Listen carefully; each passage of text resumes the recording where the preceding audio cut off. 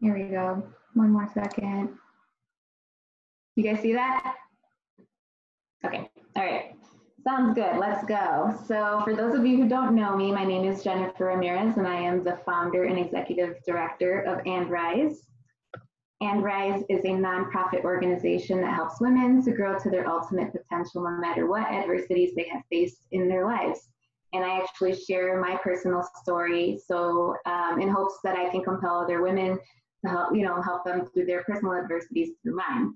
So I wanted to kind of go um, a little bit into like the logo that you see right here. So that's the And Rise logo, one of them at least. And the And stands for um, and that there's more to the story. Your story isn't over more over yet. There's more to tell. And the rise is rising above any personal adversities or any type of adversities that you have faced in the past or are facing now and to rise above it. So there is, you know, I love the branding behind it. It means something. So hopefully when you see it, now you know the story behind it too. Um, and I also am a single mother. I've been a single mother pretty much since day one, since I found out I was pregnant. And uh, I also am a sexual abuse survivor. I was abused when I was seven years old by a very close family member. Uh, and I didn't realize growing up and even as an adult that um, a lot of the decisions I made were really bad. And it was actually a part, a result of the trauma that I uh, went through when I was younger through my sexual abuse.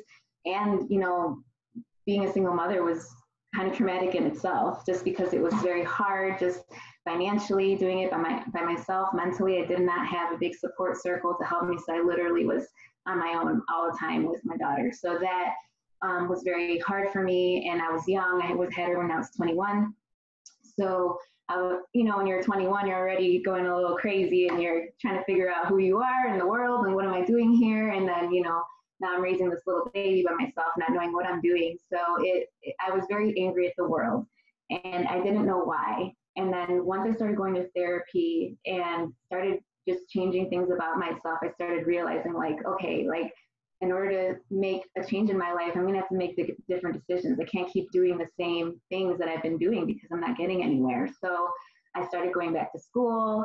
Uh, and I just started making positive changes in my life in the way that I think. I started thinking you know, more positively, and then I started hanging around people who think differently, you know, who have positive outlooks on life, and that really changed my life. Um, so I was a poor single mother, and I eventually I start I got out of debt. I was actually twenty five thousand dollars in debt as a single mother, and just that's the only I can only get by through like credit cards back then. So I got into a lot of debt, and by the time I was thirty, I was able to get out of the debt and then I had a lot of money left over, so I was able to start investing in real estate. I started blogging. I just became an author. I just um, graduated college. So I did a lot of things that um, I wanted to do just to be a better influence for my daughter. I didn't want her to go through the same things and struggles that I had went through.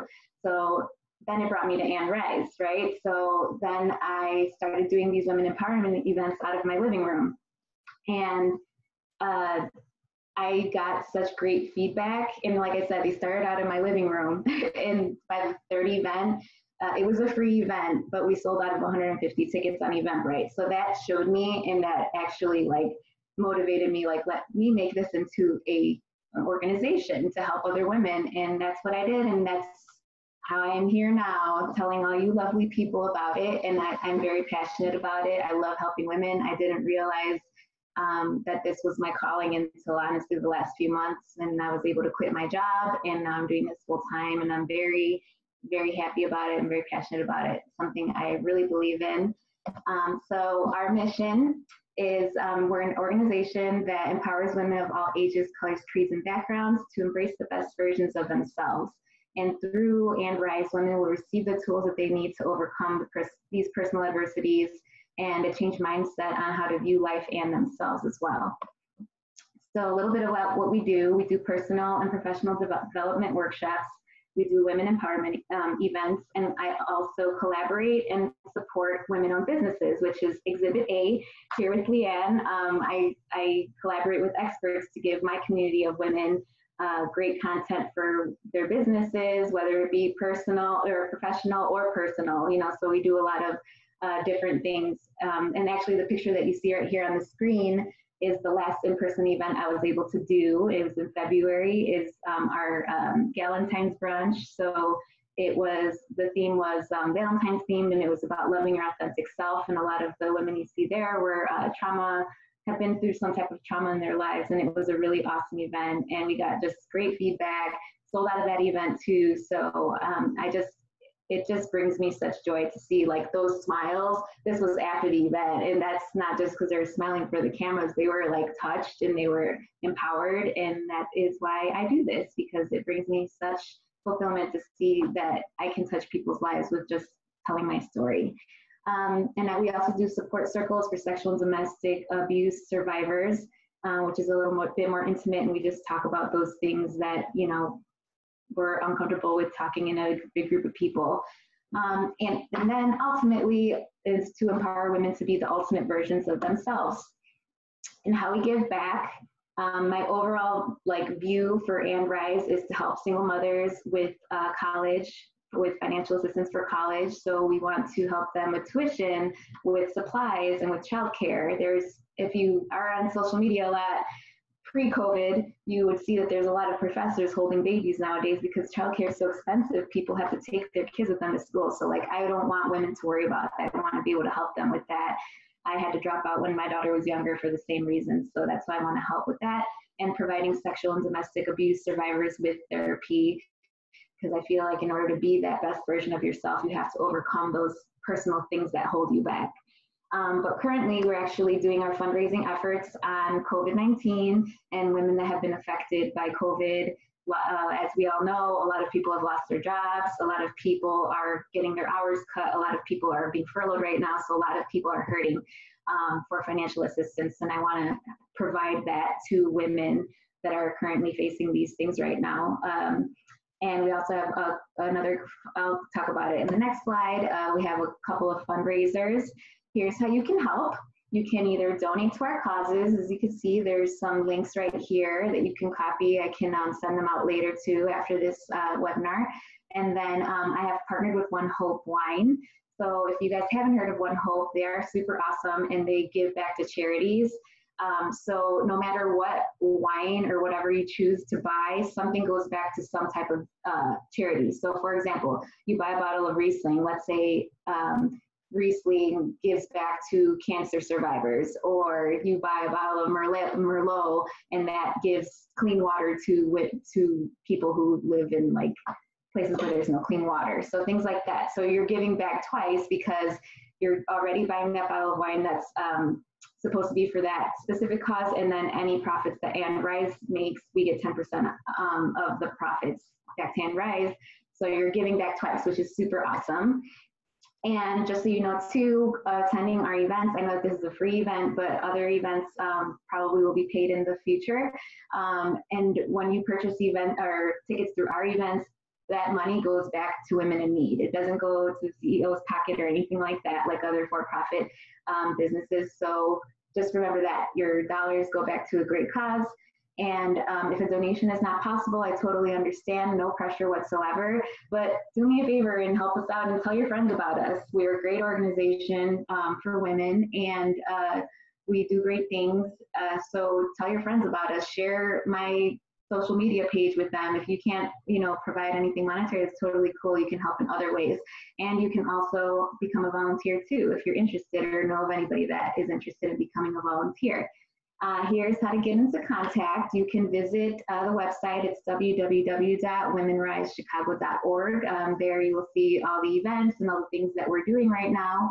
Um, and if you have any questions or are interested in volunteering or want to talk about something offline, um, you can reach me directly at jennifer at womenrisechicago.org.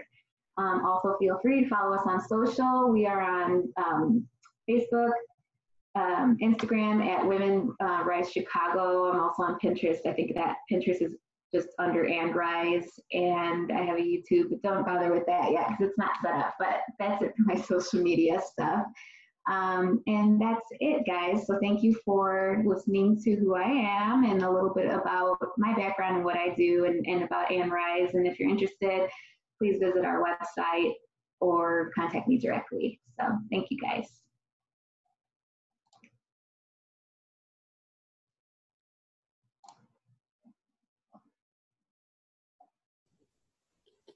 Jennifer, are you going are you going to put those links in the chat maybe make it Yes, I could do that. I will do that right now. Great idea. Very cool. Very cool. So I'm so it's so inspiring to hear your story and how you took something that um you know could have led you down a, a darker path but turned it into something that not only can help you but also help so many other women. So I'm very Yes. very inspired by you. Thank you. Thank you so much. My pleasure. Oh, should I stop share? Yeah. Okay. We're working out our technology here, folks. We are we did not practice this beforehand. Sorry about that. no worries, no worries. Cool. All right. Uh, do you want me to just take it away? Or- Oh yeah, so sorry guys. okay. Yeah, so yeah, um, without further ado, I was supposed to introduce LeeAnn, sorry. So here's our keynote speaker, LeeAnn, go, go for it, thank you. okay. I didn't want to be rude, just like No, You know? yeah, sorry, I'm done. All right, let me share my screen here. And I'm gonna go there and we're gonna go slideshow. From the beginning. All right. Can everybody see my slides? You can um, do yeah, Jennifer, you can. I'm gonna trust I'm gonna trust that you represent the rest. So all right. Um, and, and thank you so much for having I'm thrilled, Jennifer, to be talking with your people um, and some of my people. I know we got a nice mixed group today, which is really cool and really fun. So, um, all right. So, you know, you don't need me to tell you that the world is changing very fast. Um, the things that we relied on just a couple, you know, just a month or so ago, especially our in-person strategies, are really no longer um, no longer viable for the moment. We're starting already to see some things open up. The question is, we don't know what's going to open up and how it's going to open up and when it's going to open up. And especially, you know, in um, uh, Jen and I are here in Chicago, and uh, you know we're shelter in place at least until the end of May. I personally think it's going to go a little longer, um, but uh, we can. I, I think we're doing this in doable chunks right? So I think we can mentally get to the end of May. And then once we get towards the end of May, we can consider some other things. But uh, it's going to be a little slower in the big cities here. So, um, so here's the thing: you know, if you were relying before this on those in-person strategies to reach your people, then obviously we need to make a shift. Um, at least in the short term, and potentially some things maybe for the long term. I think um, there's a great opportunity for us here to to look at what was really working and and not just what we kind of thought was working um, i think there's all of us uh, who are business owners you know sometimes we get and i, I speak for myself sometimes we get in a um, uh, habit of well I, I, i'm going to do these activities and then we feel like we're doing the right thing because we're checking off the boxes but we don't take that moment to step back and say did that really work is that something i really um, wanted to do or you know is that something that really made sense and I think this is giving us an opportunity to do that. We'll talk a little bit more about that as I go through here. Um, by the way, if you have questions or things like that, please put them in the chat. Or there's also a Q&A tab. If you move your mouse, your um, cursor down to the bottom, you should see a little bar that pops up. And it's got a Q&A, it's got a chat. And if you can put things in there, that would be great. And I'm happy to answer them as, uh, as we go or at the end or whenever it makes sense. So. Um, and sometimes I might ask you to put some things in there because I like to keep this interactive. So, so the key here and what we want to talk about, what I'm going to talk about today is just how do we pivot from this in-person world over to the uh, Zoom. Everybody's favorite platform now is Zoom, which uh, I've been I've been using Zoom for a long, long time. So it's uh, it's it's been uh, an interesting transition for me to see so many friends who had never heard of it before. And now they're like what? What is you know what's this how do i work this thing? And it's all uh, it's changed a lot of of how everyone interacts that's for sure. Um, so what we're going to talk about today is uh, shifting your mindset uh, into this new virtual world um, how to if you're going to create a virtual experience how to also create a tactile experience within that virtual setting uh, we'll talk about technology to embrace for your service delivery and your content delivery. And we're also going to talk a little bit about email and the role email plays in all of this. So, why your email list is more important than your social media following, and then how to add people to your list without annoying them or breaking the law. Dun, dun, dun. Talk about lawbreakers. Um, and, uh, and of course, Q&A all the way through. So a little bit about me, since we'll spend some time together. Uh, I have um, produced over 100 virtual events.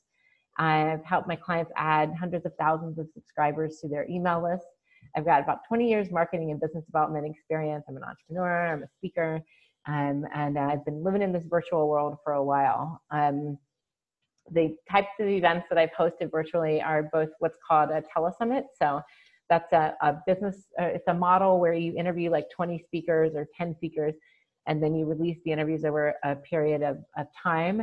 And that's how a host builds their email list. So I've hosted those. I also produce those. I've spent a lot of uh, a lot of time and energy producing those. And I've also done, you know, smaller events, one hour events. I've done three three day events. Uh, we're going to talk about that in a minute. So I've done a lot of different things in this virtual realm. And I did also spend a year as a digital nomad. Um, this is uh, this these were the suitcases. I was just talking with someone about this today. It's so funny how it's circling back, but I spent an entire year um, sold 80% of my belongings um, and got rid of got rid of my condo and spent an entire year traveling. I don't know why that. Whoop, whoop. my computer has a mind of its own today. Um, and uh, spent an entire year traveling the U.S. as a nomad. So um, these are some fun facts from the trip. I went to 21 different cities, um, eight different states. I, I was planes, trains, really no automobiles. The automobiles was actually more of a rarity because I don't have a car. So, um, and I slept in 42 different beds. Um, and I have a whole other talk about that. And if you ever want to chat about that, I'm happy to. I learned a lot of lessons from that trip. So, um, so, and I've also just been working virtually with clients around the world for um, for almost nine years now in this iteration of my business. So, um, I have a three day weekend that's called Lead Machine Weekend. And what's really wild about the, how just how fast everything has changed is I have always, um, until this year, given this event uh, in in real life in person, and I was very attached to that. It was a um, it's a three day where you come and we set up all your email marketing, and I would host them in Chicago. I did Chicago, Miami, and Denver. And um, and I remember my coach would say, "Hey, you know, maybe you can do that virtually." And I'd be like, "No, no, no, no, no, we cannot do it virtually. You have to be here in person." Um, I need to be able to like look over your shoulder and help you with it. And very attached to the to delivering it in that way. And then even before Corona, due to other circumstances beyond my control, my March event, right at the beginning of March, ended up being virtual. And that was just by pure happenstance. And I was like, okay, universe, like, you know, I was like, I'll give it a try. And I, and I told my assistant, I don't know if this is going to work, but we'll try it because, you know, I want to make sure I still deliver the event. And by middle of the first, the first day, I was like, we're totally doing this virtual from now on. Um, it was, I found that I was still able to deliver a great experience, great results, and still able to take people um, on the journey that I needed to take them, even virtually. And in fact, some things were better virtually than they were um, in person. So, um, so my next one actually happens to be next week, and I'm going to be doing that totally virtually. It's great timing, and I was able to get that under my belt before everything went completely haywire. Um, I am from Chicago. Uh, my favorite thing about Chicago right now are the Lori Lightfoot memes. If anyone is paying any attention to them, um, I think she's she's doing a great job, and mostly the meme creators are doing a fantastic job with um, with all the things that they're putting out. And I'm a runner and a triathlete, and even an, an Ironman, and I have great Ironman stories. If you ever if you're ever meeting at a cocktail party or anytime, I'm happy to tell you wild Ironman stories. So. Um, but what I really want to focus on today is just the, the, why. Why do we care? First, why do we care about virtual events? What can they do for you? Um, one thing I love about virtual events is they really can help you build your audience. Um, you know, it's nice to to have the ability to um, to build an audience that's not bound by geography and be able to reach out to them very easily. In fact, today, you know, this morning, some of you are on this because this morning I thought, oh, you know, um, let me let me just shoot an email out to um, to everyone on my list because there's some people who I know couldn't haven't made me the prior time when I talked about this topic and and I want to expose people to Jennifer. I want them to meet her. I love what she's up to. I love her organization. So let me just throw out a note and, and um, allow people to, you know, the opportunity to come to this if they want. And what's great is this is now giving Jennifer a bigger audience, right? And it allows me to serve my audience in a different way um, by uh, by hosting this virtually instead of saying, you know, I could I could have done that if we were in person in Chicago, but I, I would guess that there's people on the call right now who wouldn't have been able to make it. Um, like our buddy Mike, we were talking to, who's in Milwaukee, probably wouldn't have driven down, even though we would have been worth it, Mike. um, another great thing about virtual events, depending on how they're set up, is you can position yourself as an expert in a way that you can't necessarily, or in, in a way that is uh, um, unique. So um, this is a one a virtual event that I appeared on, and you'll see there's Russell Brunson. Um, Russell Brunson's a pretty well-known founder of ClickFunnels. Um, he's very well known in the online world, and so for me to appear on a panel with uh, with him as well positions me in a very unique space and allows me to um, uh, to to uh, I don't want to say demonstrate expertise, but be perceived as an, as an expert because, because I'm on a panel along with these other people. It's four o'clock, folks, so I'm not going to promise that my that I'm going to make a lot of sense. I know I'm going to make sense. It might be a little uh, tongue tied today. Um, also, virtual events allow you to, you know, make money. Nothing wrong with making money. There's really nothing wrong with making money right now as well. And I know there's a lot of people who for whom this really, really difficult financial time. Um, I know there's a lot of uncertainty. Some people aren't sure um, if their livelihood was connected to a job. They don't know if they saw the job or they might be furloughed. I know there's a lot of that going on. And, and I want to be respectful of that. That's very real um, for, and I, I have friends and family who are dealing with that. And I have a lot of colleagues who are also um, still able to generate revenue and to help people and to to grow their business. And that's there's nothing wrong with being able to do that even in this time. Um, there's nothing wrong you know we're not talking about like hoarding uh, toilet paper and selling it for a hundred dollars a roll you know? But there are there are um, services that we can offer that help people and there are people who really really really really need what we have to offer right now and it's okay to make the offer and it's okay to generate revenue from it right now. Um, in fact in some ways there's more money available for something because you know we're not going out to eat we're not taking so many ubers we're not taking trips. Um, there's a, there's a lot of people for whom they actually have more money right now than they've had in the past because they're not spending it on things they usually spend it on.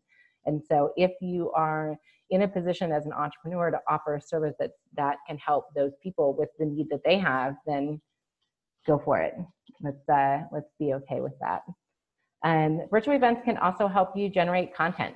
Um, there, uh, you can um, generate audio recordings, video recordings. You can take those recordings and have them translated or transcribed rather, um, or translated, um, transcribed into forms of content, which could be, you know, ebooks or workbooks or um, blog posts or email posts. Um, you can, uh, you know, take compilations of what you've done. You can turn things into videos, both the solos or the in between. So there's just a lot of ways you can take content that you create during a virtual event and leverage it in a lot of different ways. Virtual events can also help you generate more speaking gigs. Um, in fact, I I, I have been I've, I've been generating. I've, I've, booked more speaking gigs, gigs in April than I have in a long time, and part of it I know is because the topics of what I speak about, but part of it too is that I'm comfortable delivering it in a virtual way. And I think um, having that flexibility has actually helped me to reach more people, which lets me serve more people, which makes me really happy.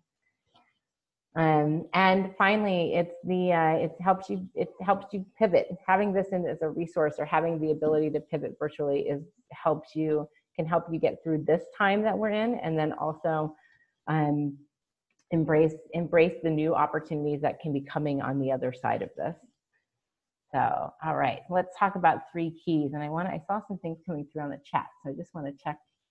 I can't. I don't know why the little chat thing's not Oh, I hate when I'm the technology girl and I can't get the technology to work. There it is. it's unbecoming, right? Oh, good. Jennifer, you posted your links. I'm so glad you did that. Um, and uh, Mike, you're sweet. It would have been worth it for sure. Thank you. Oh, thanks to everyone for being here. Cool. All right. Cool. So let's look at, oh my goodness. the first, we're going to talk about the three keys in pivoting your business to virtual. And the first key is shifting your mindset um, and just kind of wrapping your head around um, around what's going on. And the question that I ask that I've been talking with a lot of people about is, you know, who do you want to be? Who do you want to be on the other side of this? When we are when we're having a conversation with someone a year from now, five years from now, even maybe just five months from now, and we're talking about remember when, remember when uh, Corona happened, remember when we were on lockdown, remember when. Uh, when you talk about that time, how do you how do you want to have, speak about how you showed up? You know, do you want to show up as the person who um, or do you want do you want to have look to look back and have shown up as the person who was fearful and who was constricted and who was um, uh, you know in that in that down energy? Or do you want to look back and, and say no you know what? I stepped up. I really learned some things. I took advantage of that time. Um, and that's not to say that we won't have times when the energy is down and the emotion is down and we're feeling sad or we're feeling constricted i've certainly had that i've discovered some new uh, flavors of Ben and Jerry. It's been one of my pandemic discoveries. Um, and I'm totally fine with that. Um, and I think the key is to uh, have those feelings, let yourself have those feelings, understand those feelings, and then see what you can do to move through and to come out on the other side so we can be who we, we truly are here to be. Um, I really feel that, especially for coaches and thought leaders um, and uh, entrepreneurs, now is the time for us to step up and to demonstrate who we are and what we're all about and how we can serve our people and just do it in a little bit of a new way. Um, it is it is tough emotionally. I totally get that. Um, and yet there's a bigger opportunity to step into that leadership and for us also to, I think one of the one thing I've learned so far is uh, learning how to kind of process those emotions that are coming up and to understand what's happening and to really not get bogged down in them uh, but to feel the deal with the emotions feel the feelings and then still step up and be a leader still show up for my clients still connect to what i'm really on the planet to do. And so the question ultimately becomes can this fuel you? Can you see the opportunity without being opportunistic? You know can you can you be the person who steps into something bigger? This this time reminds me of 9-11 um, i was in business. Uh, my, my first official entrepreneurial venture was um, was actually um, speed dating business in uh, southern california i got stories about that too if you ever want to if anyone is familiar with um, speed dating and um, you know 2001 I, I launched that business in january 2001 and so 9 11 happened, of course, September 2001. September 2001 was the worst month in my business. Every, we all remember this, right? Everything shut down. People weren't traveling. People were, you know, holed up. Um, and October 2001 ended up being the best month of my business, and my business took off after 9 11. And that's because everyone's priorities shifted and everyone had this sense. We all still have the sense of where were we when that happened. And it kind of drew people to, to reevaluate how they were spending their time and, and whether, in, in my case, with the speed dating, whether they actually wanted to meet somebody, whether they were going to make time for that in their life. And so um, I say that because, yeah, that was, that was a tough, you know, I had an event planned for September 12th. and, you know, and it obviously didn't happen. And it was really hard to sort through what to do and, and like how to recoup from that. And there were opportunities that opened up for me and my business that wouldn't have opened up had that not happened. And so it's like, how could I, um, how can you kind of leverage in, in a, again, in a, leverage the opportunity without being opportunistic and look at just what's going to open up for me now that might not have opened up before. I feel like the oppor- one of the opportunities here is that there's going to be when we get on the other side, right, there's questions of what do you want to take forward? What do you want to move forward with? And, and renew and then what do you want to like leave behind kind of burn in the trash can there and what do you want to like not not not taken into the new way of being uh, you get to decide that's the bottom line you get to decide how how you handle all of this all right, so that's our mindset around um, the pivot. Uh, next, I want to talk about thinking tactile, thinking about a tactile experience. So, um, one of the things that is has obviously changed dramatically is we can't. Uh, we're used to being in the room and we give the hug and like we, you know, and you you touch something and you you well, you still write with your pen. I guess that didn't change, but you get my point. You know, there's a there's a feeling way to do that. Um, so it's like, how can you kind of incorporate that even into a virtual experience? One thing I've learned, and uh, with my three day, I'm actually getting ready to do this uh, tomorrow for my event next week, is I sent a care package to the attendees. Um, and that's now, since that was a longer event, since it was a three day event, I, I, wouldn't do this necessarily for like a one hour event, but for a higher end, like an all day event or perhaps a two or three day event, I think something like this does make sense. The package, um, which I forgot to take a picture of, and take a picture tomorrow, is um, it had a lanyard in it. So you know, when if it had the things basically they would have received and and picked up if they would have come to my workshop in person. So it had a lanyard, it had uh, the workbook. Um, I usually have very creative things on the table, so I sent a little um, thing of a mini thing of Play-Doh, like a squishy ball, and um, you know i sent snacks because i usually uh, i'm i love snacks. And so i usually have those out on the table. So i put those in the packet. Um, this time i've got to see if i can get uh, you know being the chicago gal i got to see if i can get some garrett's popcorn i don't know if they're still open um, i need to go look i thought it'd be really cool to get the little mini popcorn bags um, and include those in the packet so just thinking in terms of uh, you know, how can you um, help people have something a little bit different to interact with? Um, that also will help them step into a role. The reason I did the lanyard was because um, I, I asked everyone if, if you come virtually, I want you to still act like you're basically like you're leaving town. So I want you to set aside different space, and I want you to um, to tell people that you know you're you're busy and not to come in and talk with you. And so it's kind of like if you wear that lanyard it feels a little bit different when other people are around you and interacting with you because you're like kind of like no i'm i'm i'm at an event now um it, the um just i'm looking over at my notes i had um also had them um uh wear wear you know not wear pajamas and i let them know we were going to be on video the whole time because sometimes I've seen this on some Zoom calls I've been on lately. Sometimes everyone's a little too like, you know, maybe like a little too. Uh, where's my thing? They're a little too comfortable. Like a little too, you know. Um, and I've been guilty of this myself.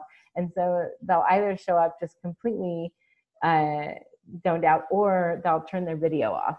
And so you only you only see their name or their picture or whatever. And I said, no, that's not appropriate during my event. So let's make sure that we're prepared for that. Um, no, no lurking, no lurking with the other picture in front of your thing. Uh, and then the other thing, uh, another consideration to have is just, you know, how can you, if you think about the goals of the event that you have, how can you still reach those goals but maybe in a little bit of a different way. So um, one way is the, the chat function that we have here. I do have a, um, a client who also had a three-day event that she had also for five years only ever done in person, and we did it virtually because she um, had the, the date for it was like March 25th. So it was when you know everything was going really really crazy. No one was traveling, and one thing that was really cool was in that event. Usually when we do it in person, um, you know, there's a sometimes you miss little extra conversations or there could be something going on over in that part of the room that you kind of don't see because you're in this part of the room and and a lot of that ended up getting captured in the chat and the chat ended up being a really cool feature because then as someone was speaking or sharing or something like that others were in the chat saying oh that's great or you know you go girl or hey think about this or giving people all kinds of feedback, and it was more feedback than we normally would get in an in-person event because you just don't have that kind of option. So, you know, utilize utilize opportunities like that and things like that that you now have access to that you might not have had access to if you were in hosting a live event in not live in person in person event um, another thing we did was the applause that's what this like little thing so since you know usually if you're in, person you can like clap and you can like make your noise and do whatever and obviously that translate translate here so um, i've been at a live events where people are doing this for applause and I really like that. The visual, it's motion, and it gives uh, people can get the, the, sensory perception of it. Um, also, it's great to have. Uh, you can still do like dance breaks. One of my clients loves to do dance breaks at her um, events, and we were a little bit sad of whether we could do that uh, virtually, but we did. She turned the music on, and then you know because we could see each other, we could see each other getting up from our seats and doing the dance, and then we also did some breathing exercises. So um, again, wanting to keep everyone kind of uh, present and in touch with what's happening, we took we took those breathing breaks and made sure that people were still getting up from their chairs and people were stretching and and doing different things. So it's just again getting it tapped into those goals and the results and thinking about different ways to do it. All right, and the third key is to embrace technology. Um, so part of it, of course, you know, Zoom, everybody's favorite Zoom who here wishes they would have bought stock in Zoom in like January? I'm like, man, I didn't think it was going to be that big.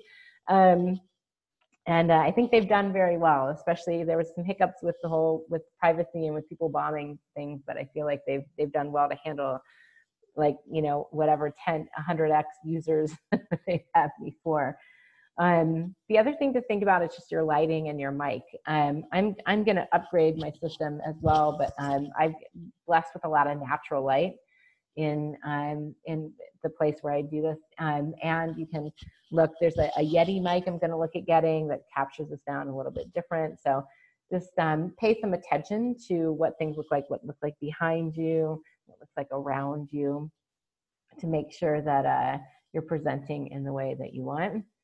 Um, also watch the uh, what happens on screen. I, if you saw, I thought this was so funny. The potato boss, who like somehow got the like screen thing. I think she was trying to do a green screen or trying to like change something. She turned herself into a potato during. So, you know, just be mindful. I like the I like the look on the faces of her like team too. They're just like, oh my god, we really have to look at you like that the whole time. So, so maybe practice practice a little bit with that background. You can change your Zoom background um, depending on the version you have and depending on the um, what your computer you have.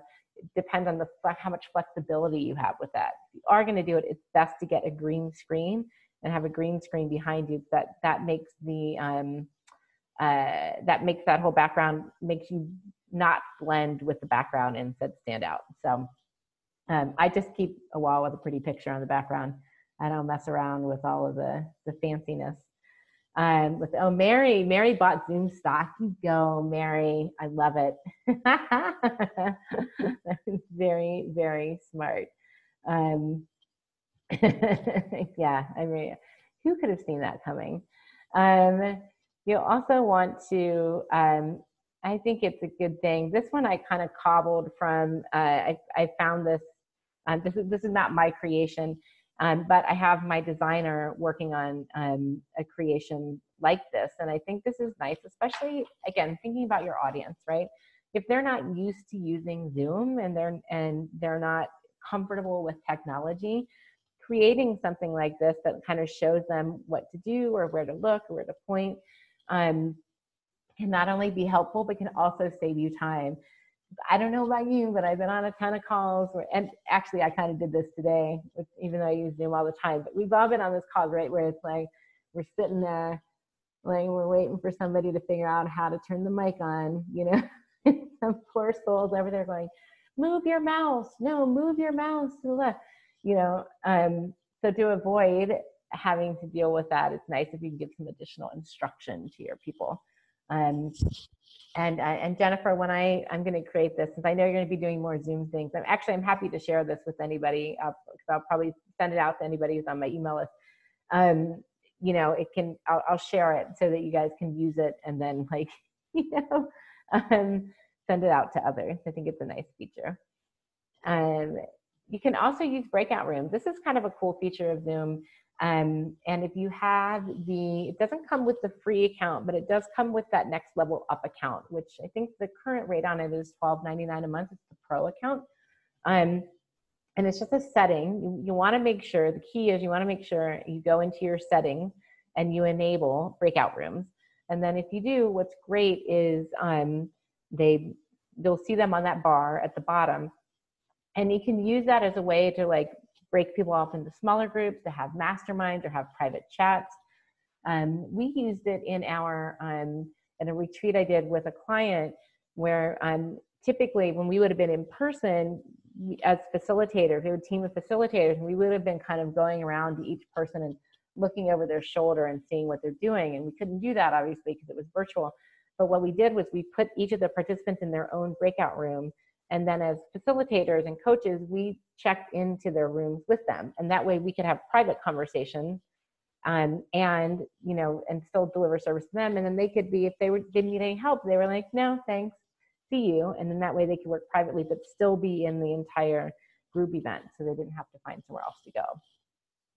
You can also use, there's a whiteboard feature and that comes with that pro level of Zoom. So you could have basically it's another attendee window um, and you can use a whiteboard. You can use it through Zoom, or um, if you have an iPad, not the level iPad I have, as we were discussing earlier, if you have a newer version of it, you can have it attend, and there's a whiteboard app that you can use on Zoom.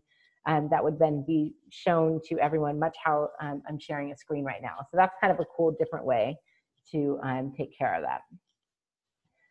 Another thing that we uh, that I recommend utilizing is, especially if it's going to be a longer event, is uh, a WhatsApp group, and that's just for the attendees, and that's so that you can send out messages like, "Hey, we'll be on in five minutes," or you know, "We're starting, we're regrouping now. Come back from break," or "Here's the link for whatever," and you can just kind of communicate with everyone at one time, one time, without it being a group chat function, uh, uh, meaning, or sorry, without it being group text group text i find um, it just it doesn't really work well for groups.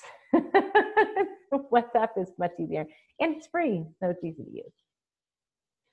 So the key here again is just like thinking and planning right? So thinking about those goals thinking about the results you want to create thinking about um, the uh, how you how can you achieve those results in a little bit of a different way I also do recommend, depending on how your um, event is structured and how many attendees you have, I recommend having some sort of a tech person or an assistant who can help you just so that you as the facilitator and the leader don't have to worry about um, you know can you see the ipad? Can you hear the music? Can you did you send everyone a note that we're coming back? And as the facilitator you want to be free to be present and just to be leading and, and being in your kind of genius zone and let somebody else worry about those kind of um, extra details that maybe you won't want you won't want to have to deal with. All right, so let's see. We got, oh, we got a chat and a question. I'm going to check that out. Let's see. Love it. Thanks, White. I like that text bar too. I'm very excited about that. Doing fancy versions. Um, let's see. So we have a question from Cassandra. I love questions, by the way. Be sure to throw those in there. Um, why do you find WhatsApp easier than group text? In my experience, they seem virtually the same. Um, I've heard this before, and I think you might be missing something valuable in WhatsApp in terms of the function of the features. Um, that's a great question. Hi, Cassandra. that's a great, great question. What I found is that um, a couple different things. One is the um, it's easier in WhatsApp to share like a um, I can do a voice voice note recording. That's one thing I really really like about WhatsApp versus other uh, group text. Um, if you can, you just hold the little microphone down and you can um, swing it up and I'll lock it so you don't have to keep holding the button. And you can do a voice recording and put that out to everyone. And I don't know an easy way to do that in a group text. Um, it's also easier to share um, documents or not documents, um, links to things. I feel like it's much easier for me to, depending on where I'm copying from, to get them in, into the WhatsApp feed than in other ways. And part of the reason for that is with WhatsApp, you can, there's a desktop application you can get so that you can use it from your computer instead of just from your phone. And sometimes if I have a, a link to share that's kind of a quirky link that's like long and hard to copy that I just don't like finding on my phone and copying, it's much easier for me to find it and do it through the desktop application or to type if I have a longer message, sometimes I'll type it in there. The other thing I found is, and it might be because I'm an iPhone user and I, I know there's sometimes quirkiness between iPhone users and, um, and uh, Android users. But I've found sometimes I'm in a group text and somebody will answer and then the answer only goes to a few people or I'll respond, and sometimes my response only goes to one person or to a few people in the group and not to everybody in the group. And I've seen that it gets just a little disjointed sometimes, like um, somebody somebody's answering a prior thing, and I, I don't know, it, it, it gets somehow broken up. Um, versus in WhatsApp, it's always in that one feed. And so those are those are off the top of my head the reasons I like it a little bit better. I gotta be honest, I was a little resistant to WhatsApp when I first when I first was in a group, and then somebody was like, "Let's create a WhatsApp group," and I'm like, "I don't need extra stuff on my phone. I don't need another app to open. You know, why can't we just text?" And what I've come to find out is if there actually are um, things that make it a little bit easier, and uh, I think I can search it too. I believe I can search WhatsApp, and that helps. So, um, and yeah, Cassandra, I see with your international friends, fantastic for that. Um, and so, um, so it's good for that. But, uh, but yeah, I'm getting used to it for other reasons too. The voice note in particular. Uh, let's see, and you had one more question in here, which was, um, do I, I answer that done? Let's see. Do I find most people already have WhatsApp or is there a learning curve needed? You know, that's one of those things. I'm, it really depends. Not everybody has WhatsApp. I find that more and more people do have it. And um, it's good to uh, give instruction on just what it is and why and that it's free. And so you're actually reminding me to put a, uh, for my event next week to make sure I have a little WhatsApp um, uh, note re how to use. Just to make sure, just to, again, make it a little bit easier. Um, plus load it up yeah um, so that people yeah just to make it a little bit easier i think it's, it's always good to give a little bit of extra instruction kind of like that zoom bar. Um, just because why not? Why not? All right let's look at the chat. Um, let's see i find easier to share pictures and videos. Yeah videos are too large for group text. That's so true. Jennifer yeah sometimes you know jennifer you can feel free to like unmute yourself and type in. It's your show just I didn't want to interrupt you. I don't mind. This is your gig. um, oh my goodness. Okay. All right. This was, oh, this is one of my wonderful uh, clients, Michelle, that I was talking about that I helped her with um, transforming her. She had this three day event also um, that uh, she'd been delivering for five years in person, only in person and she thought she was going to have to cancel it because everything was happening. So we saved her 20, 20 grand in registration and reduced her cost by um, like about 80%, which was amazing. Um, I think we're about to do it again too because her next one is in June, and I'm like, I don't think we're going to be traveling by June. So, um, so now I want to talk about um, email marketing, just how that can play into um, to this whole virtual experience because I found that there's a big interplay um, between uh, what you can, you know, hosting the virtual event, that's one thing, and delivering your services virtually. And then email marketing is a foundational element of it that I think is also very um, uh, important to your delivery of this. Uh, and and very fun, right? As shown by the people who are able to make it today because they were on my list. And I and when I emailed today, like, hey, why didn't you show up? And then there was an opportunity. So one thing that uh, the, the reason, one, one big distinction for email, one thing I really love about it is I feel like it's the difference between email versus social media is the difference between making a phone call, reaching out to people individually, and um, social media is a little more like a billboard. You put it up there on the side of the road and you hope the right person drives by at the right time and they look up and they see your message. And it's really hard to know that all of those things are going to be in place. Now, with email, I'll give you, we need to make sure they open the email. but, but at least you know you're getting directly to them instead of kind of just throwing it out there and hoping. Um, email also, if you own it, you own the list. No one can take that away from you. And as we all know, I'm sure we've all seen this in our social media. You know, if Facebook changes the algorithm, which they do all the time, or whoever owns it changes, then you can just lose your audience over, not even overnight, in a matter of an, of an hour or two, and you have no control over that. But with email, you own it. So you always can get in touch with your audience, and no one can get between you on that email i felt like we all felt the uh, importance slash pain of email recently with everything that happened with uh, corona. And that's because um, you know all of a sudden we started getting all these emails from companies that it was like did i do i have any connection to you? Like i, I was like five years ago? Did i buy i don't remember this. Now one reason that it was so like what's happening was because a lot of companies and a lot of people, as a matter of fact, aren't very consistent with their email. And so, one thing that I always preach is that you know you want to be consistent so that nobody gets an email and is like who, who are you? How did i get this? How do you have my information? And if those companies would have been a bit more consistent um, between the time that they got our email and the time that they were sending out this message we might have been a bit more receptive. Because here's the thing for the companies that we cared about, for the people that we cared about, for the service providers that we were connected to, we were interested in the message that we were that they were sending. But for the ones that we didn't have that connection to, or we weren't, we didn't even know we were still technically connected to, it was kind of like, what? Who are you? What? What? I don't know. I don't want this.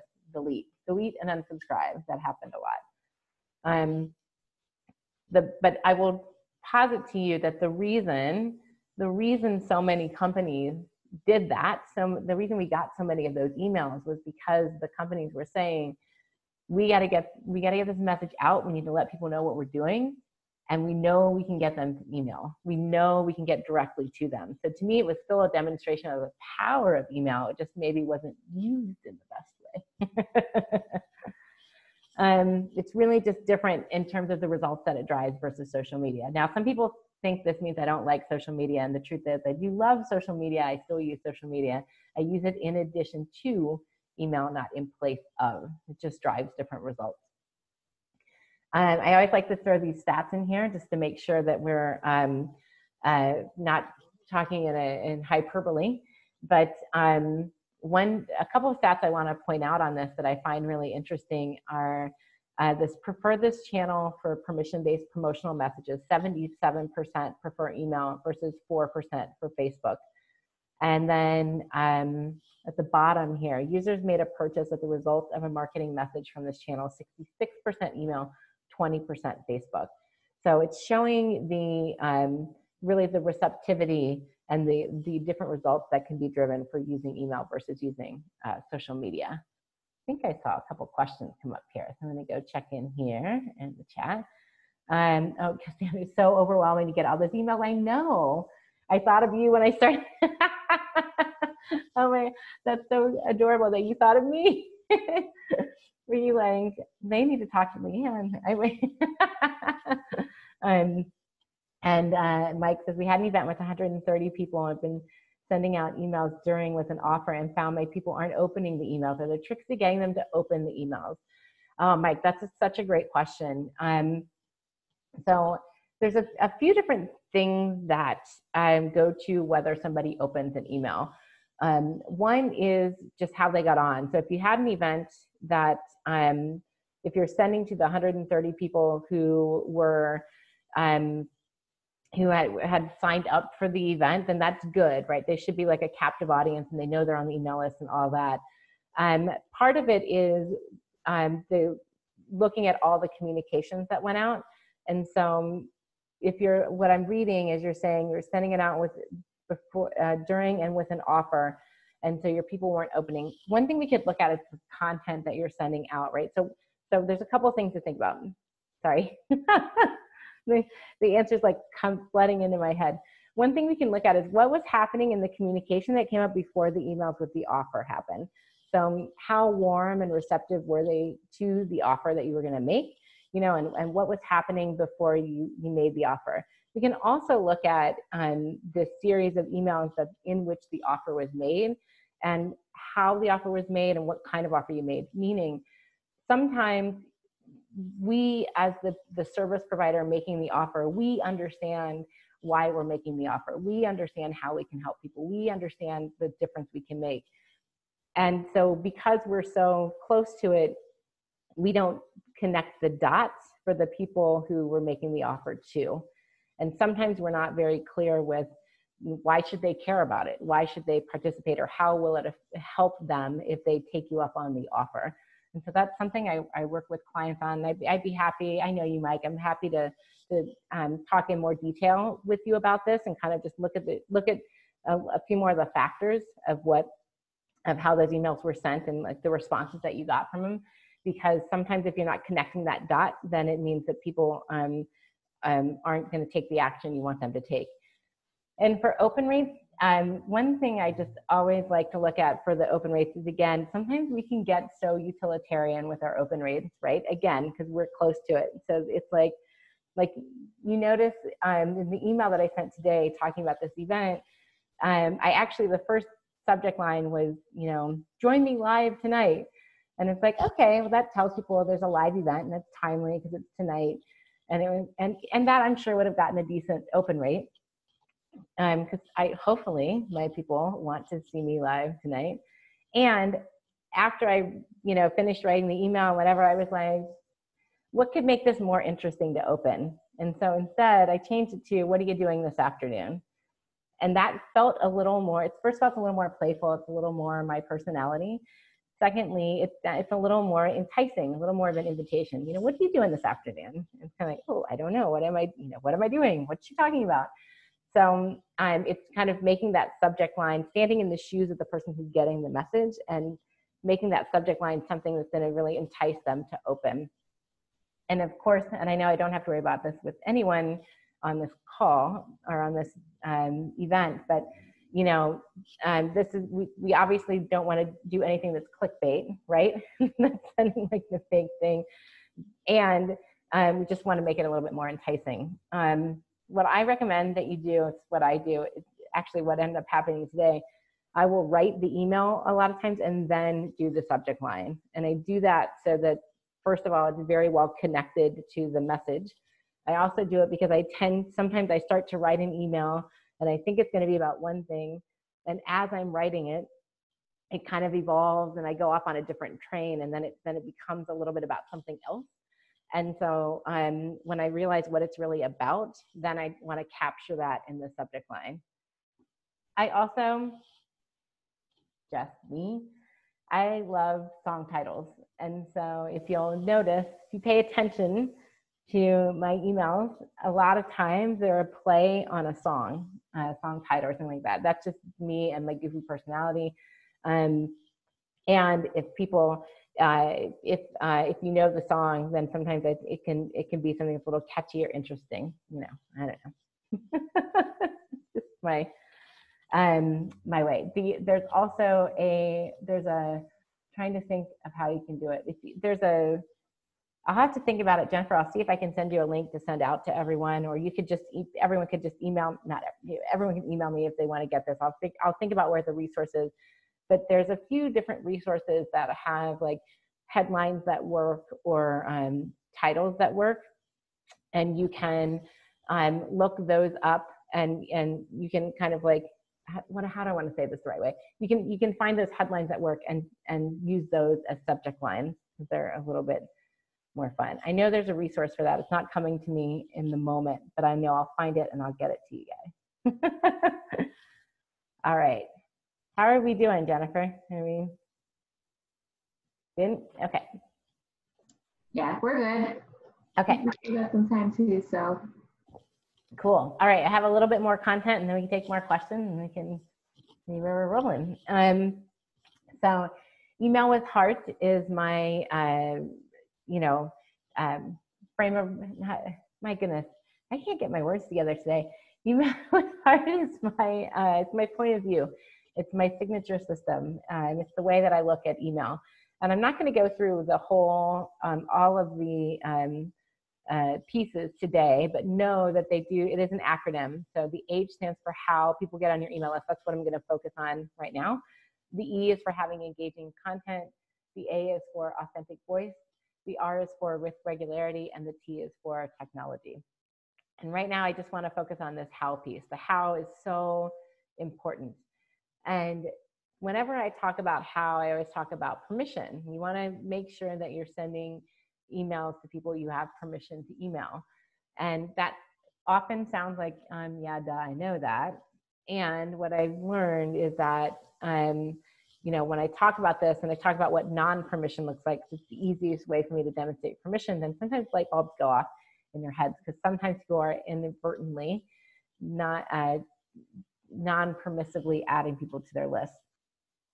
So one of the biggest times I see this is the networking events. Has anyone ever been to, you can just maybe type yes in the chat, ever been to a networking event where you should talk to someone, you trade cards with someone, and then all of a sudden you're on their email list. Like out of the blue, not what you intended when you gave that card up, but it happened. Um, let me just see. I'm looking in the chat. See what happens over here. Yeah, for sure. It happens all the time. Um, oh, I see. Cassandra, they need my consistent communication training. You're so kind. Um, so that happens in network. How about LinkedIn? Has anybody ever had this happen? Um, you are connection, you're connected with somebody on LinkedIn, like a first connection, and then all of a sudden you end up on your on their email list.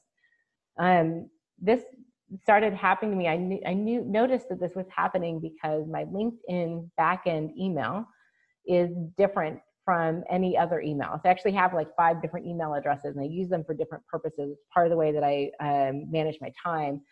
Um, and what I started noticing was this email, which had never been publicly published anywhere, that has never appeared on a website, never appeared on a business card. I use it only for back end business functions. Suddenly started getting on email lists. And, and what I found was there used to be, thankfully they turned this off, but there used to be a way in LinkedIn to download the email addresses for your first degree contacts. And then people would do that and then they just upload them to their email list. So not something we want to do. Um, and I, have I've tweaked every setting in LinkedIn to make sure that doesn't happen anymore. so every now and then someone slips through. And the thing with this is that, you know, it's spam. Um, and it's, it's illegal. It's literally illegal to take someone's email address and put them on a list without their permission. And I know this is not one of those things where, like, you know, the cops are going to come knocking on your door and you're not going to be hauled off to jail. And certainly not that much of an offense. But the bigger issue here is we all, pardon me, we all know this saying people do business with those they know, like, and trust. And the challenge when somebody does that is that they know you, but they don't like or trust you. It breaks the like and trust factor from the beginning. If you break that like and trust factor, then they're not going to become clients. They're not going to, um, they're not going to refer you. They're not going to do all those wonderful things that you want to do with the people that you know, like, and trust.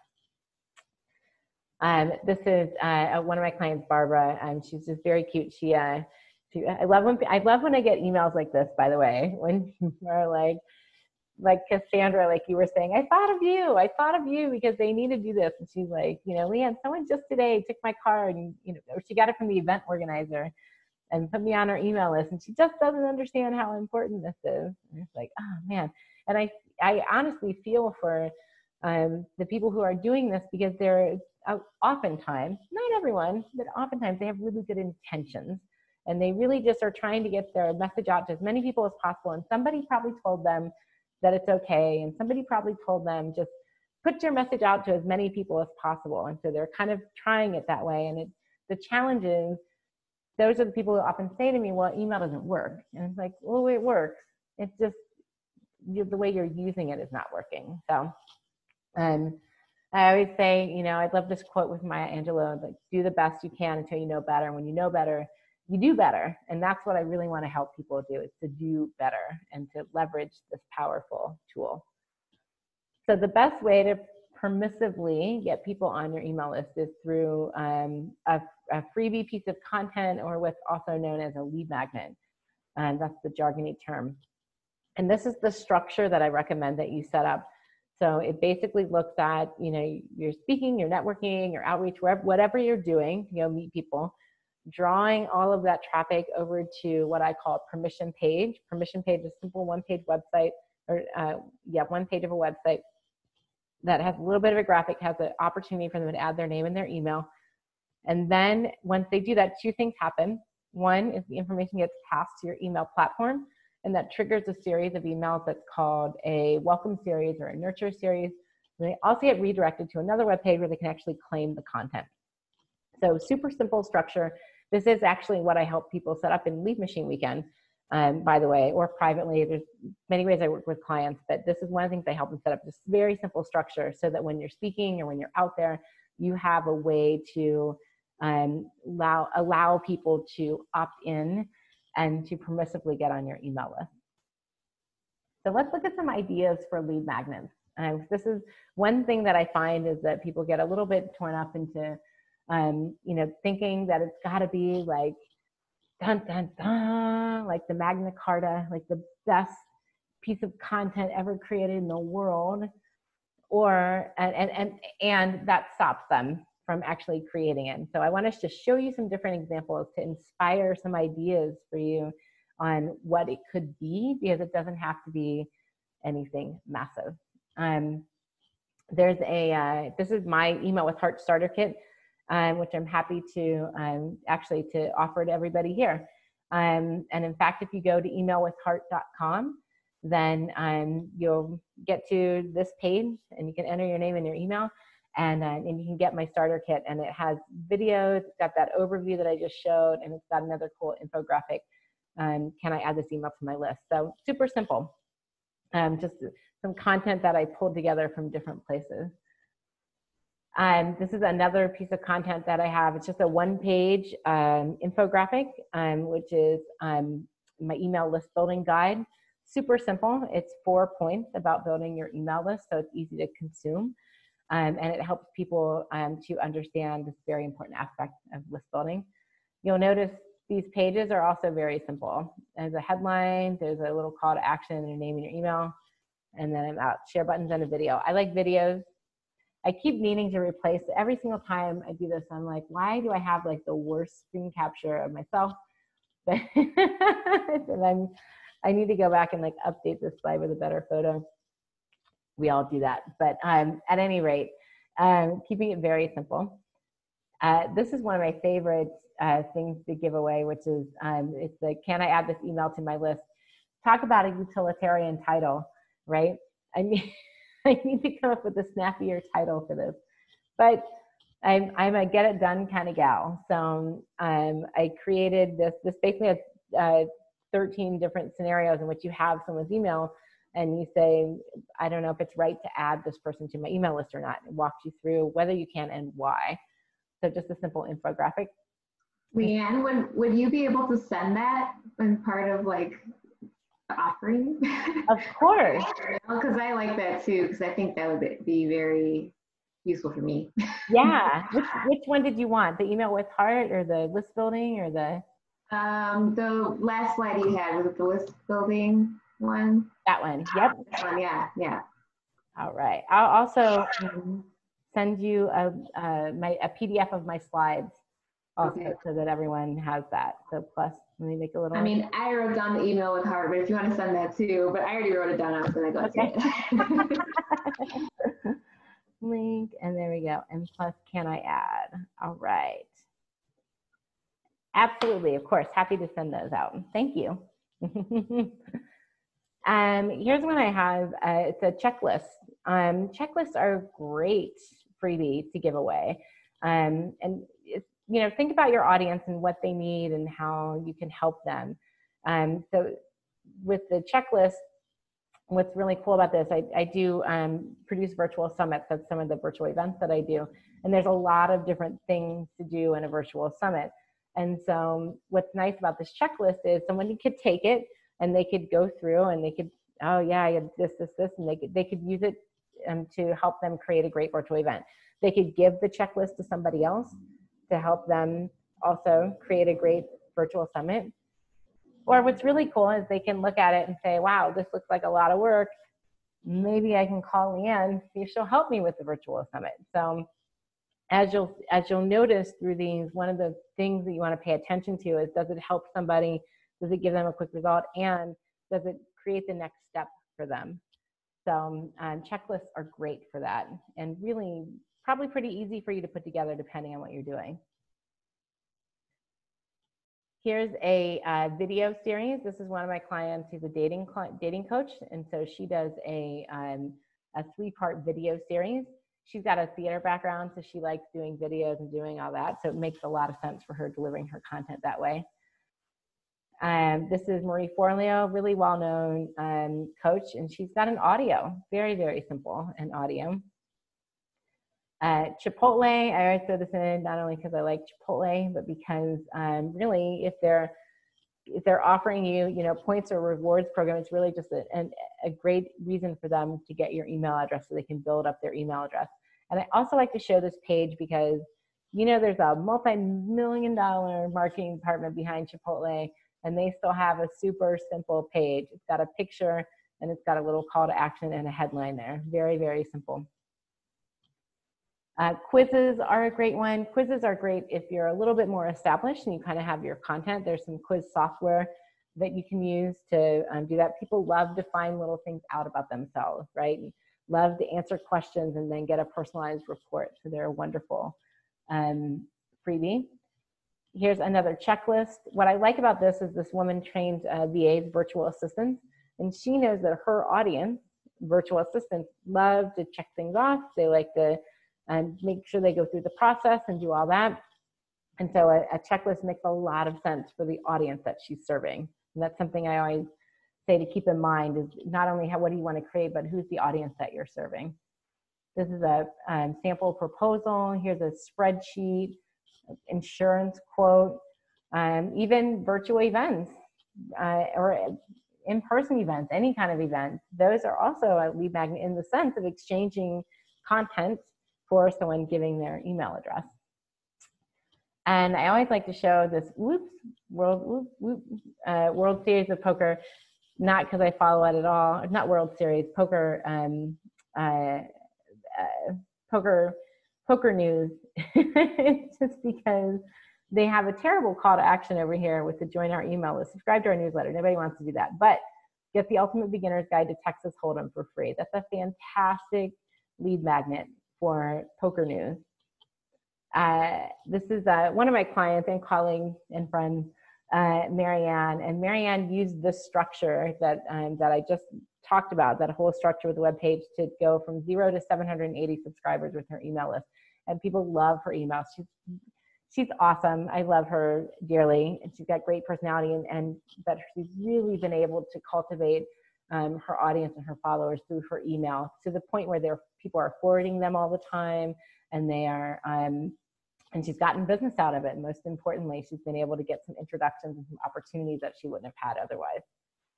So the keys with those lead magnets are to make them easy to consume and they solve a problem for the, the person who's getting it and that it generates a result for the person fast and that it ideally creates another problem. So it's another step for them to come back to take the next step with you um, let's see. So hopefully you're now having a new loving relationship with your email. But if you're a little bit confused or have other questions, I know there's a couple questions. I'm going to grab it in there. Um, what I'd like to offer to everyone is just a, an e-strategy session with me, which is just you know 45 minutes. Um, I can answer questions that you have. I do know that I'll give you some clarity. I'm really, really good at that. I can give you an understanding of how you're using email in your business and whether it's getting the results that you want and, and what to do in order to change that.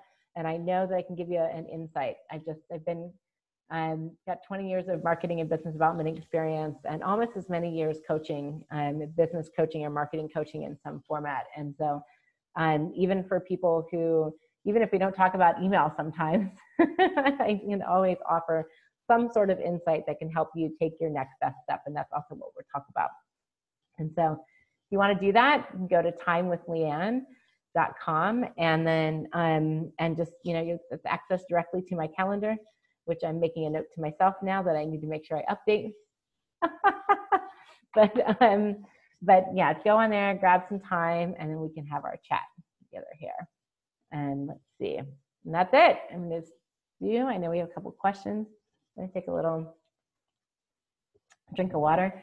Um, uh, let's see, Jen. Email discussions interesting. I felt that if they're providing me with their email address for an event, Eventbrite, then I can add them. What if we have language in there that says something like, by signing up for this, you'll be joined to my list? Um, great, great question, Jen. Um, one of the things, I'm a lawyer by training, and so one of the things that I always like to um, have, uh, like to talk about is what I call the expectation of email. And so, uh, you know, the Fourth Amendment in legal circles, all my all my lawyer friends get this joke, but they have the expectation of privacy, and um, so it's the expectation of email. Would they expect to get an email from you? So, yeah, Jen, if they sign up for an event with you on Facebook on on Eventbrite, then for sure they would expect that they're going to get an email from you. And so, absolutely, you can add them to your list. They join your Facebook group, that one is questionable um, because they haven't given they haven't given you their email directly. Yes, they've joined your Facebook group, but they haven't taken that step. And so without that step, I wouldn't add someone to your email list. So um, so I feel like the, the, examples you gave give go in two different directions.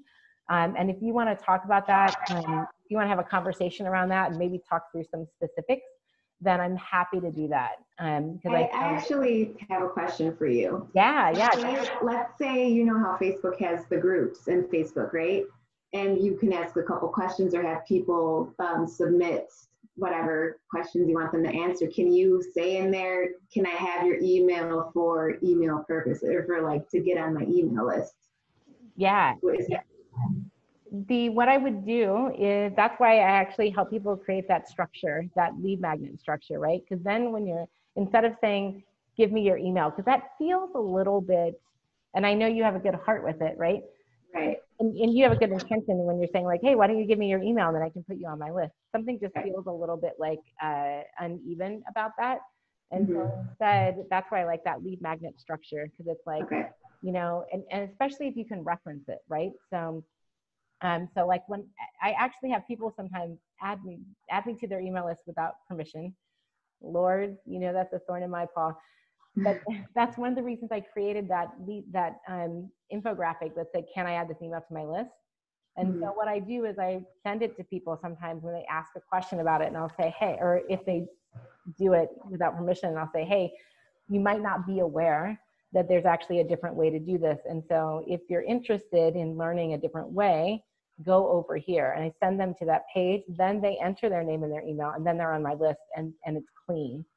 And so for a Facebook group, you could say, hey, do you want to join this event? Right? That's a reason for people to give their email. Or you could say, hey, um, I've got this 10 tips or these five tips or this whatever that addresses what you're talking about. Answer the question, right? Because it's annoying if you're in a Facebook group and somebody goes, oh, just go over here and get on my email list.